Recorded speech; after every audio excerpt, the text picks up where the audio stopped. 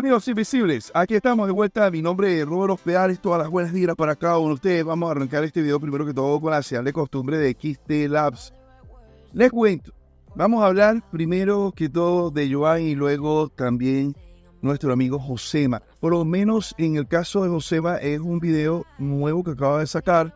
Eh, ese video nunca lo había publicado, lo acaba de publicar. Bueno, vamos a hablar un poquito sobre eso. Eh, les cuento, en el caso de Joan, yo traté de hablar con eh, su coach, Spin. Le pregunté, Spin, cuéntame. Eh, Spin y yo somos muy buenos amigos. Eh, le, pregunté si había la posibilidad de yo saber si al menos Joan compitiese este año. Que no me tenía que dar la fecha, pero al menos sí iba a competir este año. ¿Ves ese Spin? Robert, todavía eso no lo sé. estamos, estamos viendo a ver qué es lo que pasa es como el cuerpo responde y todo aquí. Al final que el hombre no me quería decir mucho, no insistí, entonces lo dejé tranquilo, lo saludé y le dije, bueno, estamos en contacto, te deseo lo mejor con eh, los resultados que andan buscando este, Joan y Lo cierto, que está muy bajo de porcentaje de grasa. Eh, aquí en los videos más recientes, en el video más nuevo y en el video más reciente, se ve que está bajo de carbohidratos, el, cuerpo se ve depretado. ¿Qué es lo que está ocurriendo? No sé. Por cierto, bueno, que lo está ocurriendo no sé porque posiblemente vaya a competir, posiblemente no, pero eso no está seguro, yo no lo sé. Estuve viendo un video de Sila donde él estaba hablando sobre la parte, la espalda baja de Giovanni. Bueno, más que los pliegues de la piel, Amigos, eso es genético, ¿eh? Yo no sé si es porque Joan en un momento cuando él practicaba powerlifting eh, llegó a subir bastante de peso. Posiblemente la, todos tenemos la piel igual, amigo. Hay piel, hay un tipo de piel que saca estrías. Yo soy uno. Aquí no se ve, no, no se ve, pero yo tengo todo esto lleno de estrías. La espalda baja también.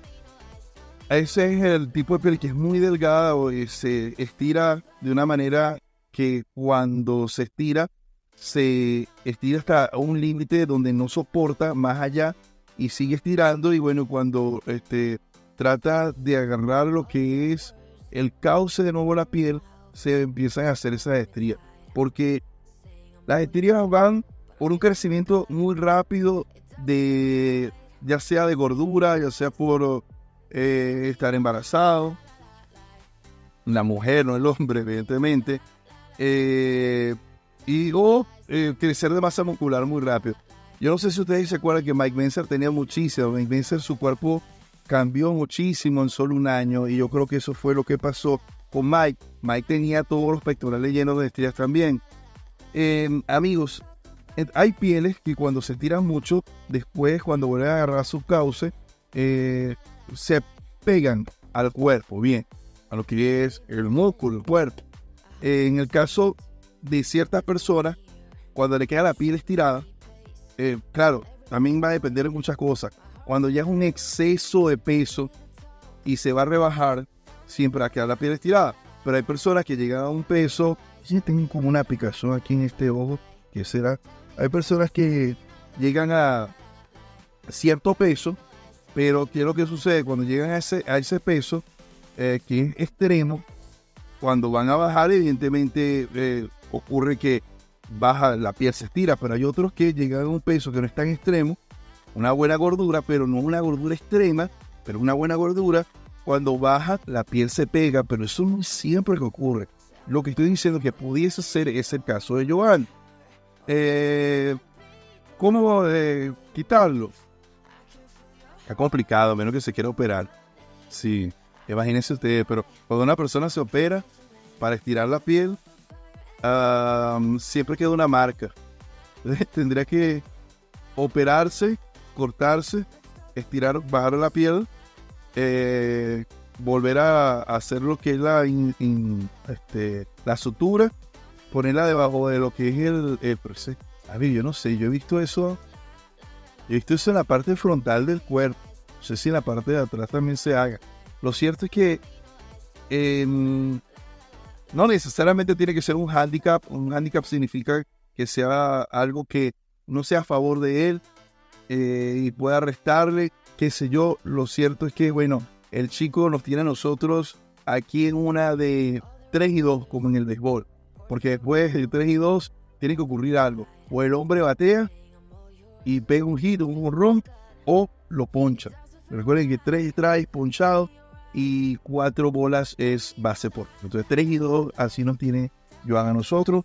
Eh, lo cierto es que se ve que el chico le está poniendo, amigos, vamos a tratar de olvidarnos de eh, eso de ser influencer o ser influencer.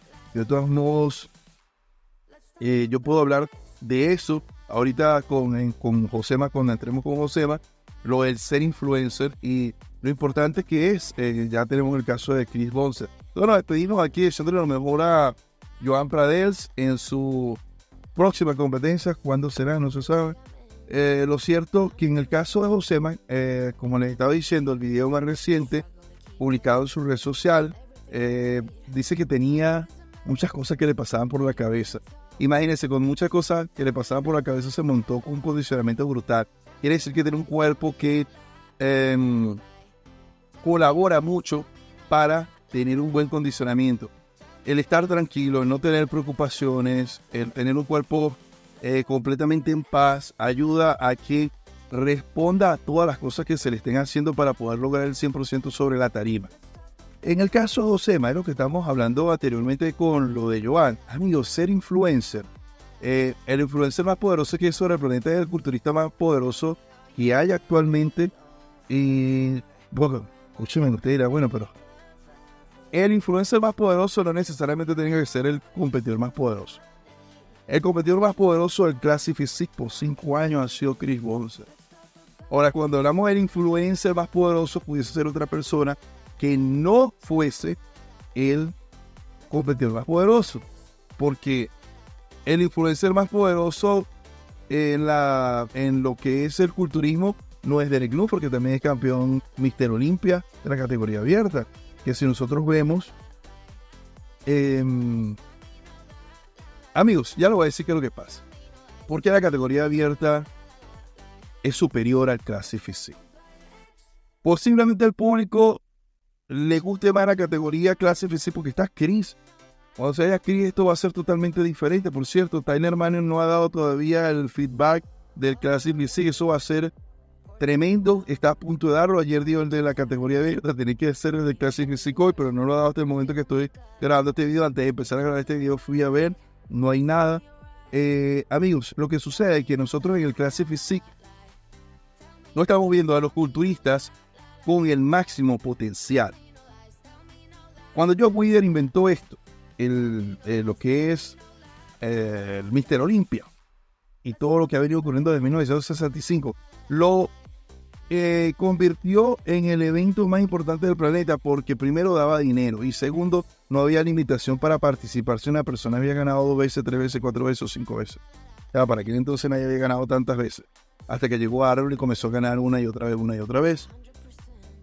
¿Qué quiero decir yo con esto? Era para ver el máximo potencial. Trató de profesionalizar el culturismo. El culturismo siempre fue amateur, amigos. La gente no vivía de él, simplemente competía, ganaba un evento, ya no se le permitía volver a competir en ese evento. Así era el culturismo antes. Eh, llegó Joe Weider y cambió todo. Ahora, ¿qué quiero decir yo con esto? Amigos, el potencial de Chris Walter, ese no es un potencial al 100%. El de Ramón, vamos a no decir un nombre. Nadie en la categoría clase physique nos ha podido demostrar el 100% de su potencial porque tiene un límite de peso. Eso era un crecimiento hasta allá va a poder más y eh, darle al cuerpo con ese eh, crecimiento hasta ya no poder más un condicionamiento brutal. Se puede porque hay un límite, el cuerpo no puede crecer mucho. Entonces, ese es el problema. Ahora, de que en el Classic Physique nosotros no veamos tipos con, con barrigas extendidas, pero es que es lógico por la cuestión del peso. Eh, es lógico que, aunque en el caso de Rubiel ese no es el caso, Rubiel tiene un peso extremo, pero la barriga bastante plana. Pero esas son cuestiones que casi no se ven. Sansón Dao ya está comenzando a tener distensión abdominal. Y eso que tiene una cintura bastante pequeña y el abdomen de él no es tan grande o no era tan, tan grande, pero está comenzando a ser eh, grandes por la cuestión del mismo peso. Entonces, amigos, cuando nosotros hablamos de el, máximo potencial de un culturista, está claro que en el Classic Physique jamás vamos a ver. Ahora, en el caso de Josema, amigos, honestamente, tenemos que esperar que el juez hable. Ya les voy a explicar. Hasta este momento, todas las cosas que nosotros decimos no tienen valor. Eh, tiene un valor uh, porque es una opinión. La opinión de cada quien tiene un valor. Pero no tiene un valor a la hora de calificar sobre una mesa y poner a Josema en un puesto. Tiene los brazos pequeños, o las piernas no, no me gusta eh, lo que es la curvatura, no me gusta cómo posa. Posiblemente gente diga esto. Hay otra gente que dice, bueno, el condicionamiento brutal, eh, la estampa tremenda, seguro es un top 3 Mister Olimpia, tiene 22 años, de seguro eh, va a dar la pelea para ganar ese Mister Olimpia pronto, porque tiene ese, eso positivo de la edad. Aquí no funciona eso porque sencillamente todo lo que nosotros decimos es una opinión fuera de lo oficial, fuera de lo que sí tiene poder como la opinión de Tyler Hermano, que fue uno de los jueces que lo calificó y también uno de los jueces que lo va a calificar en el Mister Olimpia. Entonces, dependiendo de lo que diga Tyler Hermano, ya nosotros vamos a tener una perspectiva diferente. Yo me voy a acatar a lo que dice el juez Tyler Hermano. Eh, cuando digo atacar significa atacar. Atacar no.